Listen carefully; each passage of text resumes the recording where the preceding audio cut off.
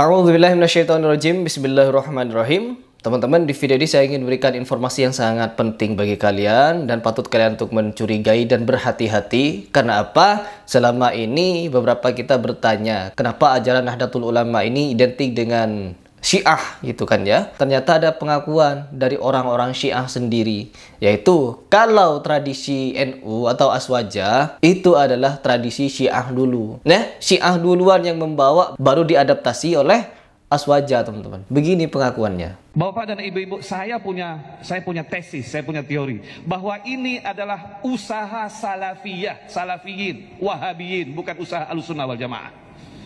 Salafiyin yang ingin memecah belah antara NU dengan Syiah. Salafiyah yang ingin memecah belah antara ulama-ulama sunnah dengan Syiah. Maulud bid'ah, orang Syiah yang pertama ya, yang membawa maulud yang dipakai oleh Ahlus Sunnah wal Jamaah. Hall, orang Syiah yang pertama membawa, membawa hall dan, dan dilanjutkan oleh NU. Tabarruk, berkah, ziarah kubur, tawasul, solawatan rami-rami adalah semuanya tradisi Syiah yang juga dilakukan oleh Ahlus Sunnah wal Jamaah. Saya tidak ada perbedaan dengan kiai-kiai. Mereka tawasul, mereka tabaruk, mereka kunut, mereka macam-macam. Saya sama dengan dia. Tapi saya syiah, dia ahlu sunnah wal jamaah, saya bersaudara dengannya.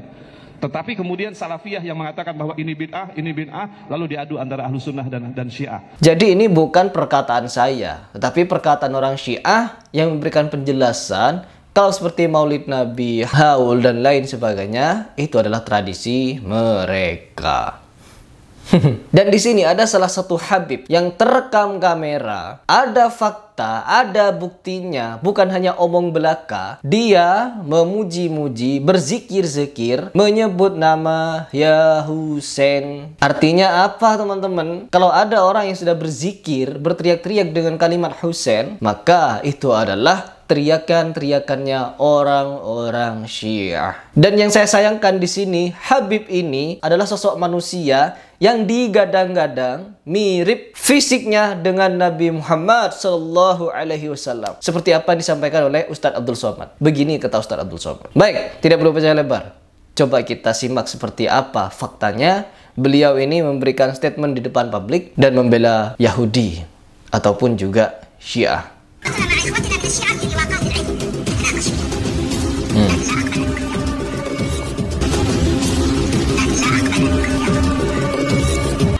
Tidak terima kalau mereka dikafirkan.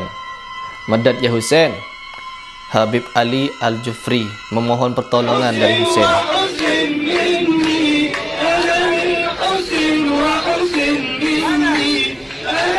Tuh.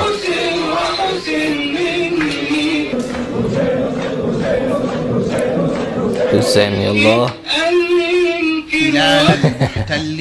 Saya mencintai Yahudi tapi membenci sebagian dari penjajahan mereka.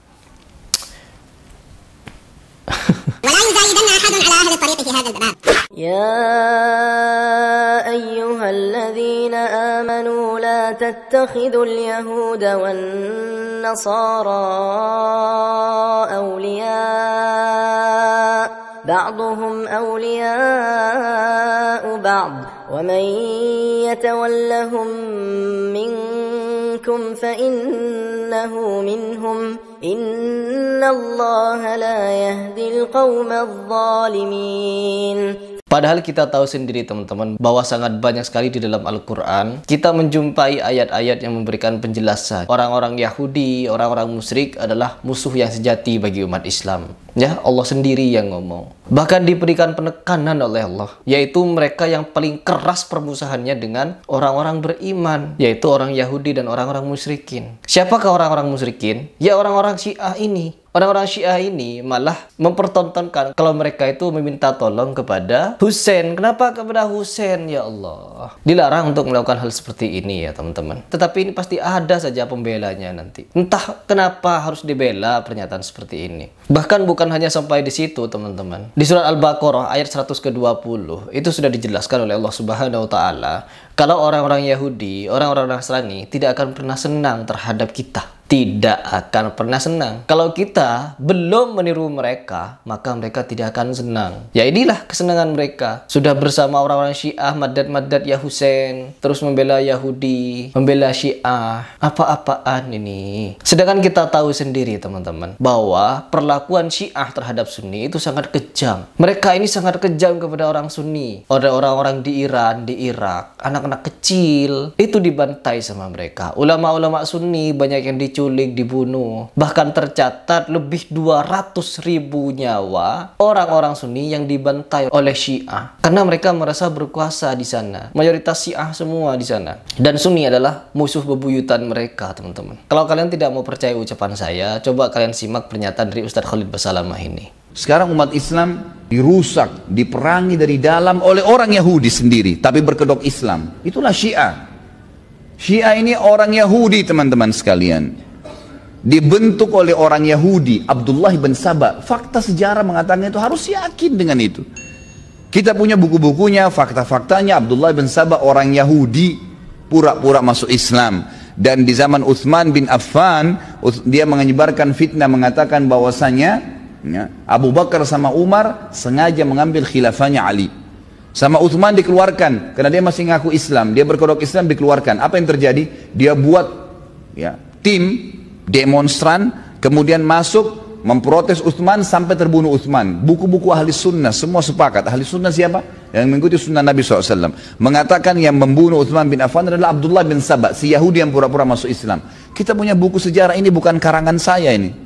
Nah, di situ jelas Ustaz Khalid Basalamah memberikan pernyataan tegas siapakah Syiah. Dan pernyataan Ustaz Khalid Basalamah ini tidak hanya berhenti sampai di situ, teman-teman. Tetapi ini banyak data-data, ya, bukan hanya ceplos-ceplos ngomong. No, tetapi ada sumber beritanya, teman-teman. Ada. Oke, itu adalah Syiah. Sekarang kita kembali lagi kepada pembahasan Yahudi. Sejarah Yahudi ini ketika melihat Islam ini sudah menghirup udara segar, sudah banyak orang yang masuk Islam. Permusuhan sudah dimulai pada saat itu juga, teman-teman. Permusuhan oleh orang-orang Yahudi ini telah dimulai dari saat itu. Ketika Nabi Muhammad sudah mendakwahkan Islam. Nabi Muhammad pernah mau ditimpakan batu oleh orang-orang Yahudi kepalanya. Terus Nabi Muhammad juga pernah disuguhkan racun, teman-teman, untuk memakan racun. Entahlah, banyak kelakuan mereka ini yang memusuhi Islam. Tiba-tiba ada orang yang disanjung-sanjung di Indonesia, dipuja-puja di Indonesia, bahkan digadang-gadang mirip dengan Rasulullah SAW. Ternyata dia madat-madat ya Husain. Lalu dia mencintai Yahudi katanya. Sedangkan umat-umat Islam di Palestina sana dibantai oleh orang Yahudi. Tidak mungkin Zionis itu beragama Buddha, Hindu, no. Ya, meskipun Hindu yang ada di India sana juga membantai orang-orang Muslim. Ini ada Habib yang begini nih modelnya. Nauzubillah. Pokoknya kalau kita mengkaji sejarah Palestina dan Israel, ini sangat menyedihkan, teman-teman, ya. Sangat-sangat menyedihkan antara Syiah, Yahudi.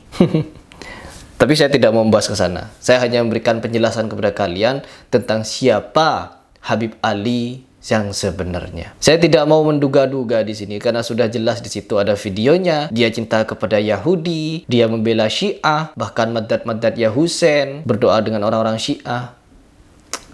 Ya, kita mau gimana ini di Indonesia ini ya teman-teman? Memuja-muja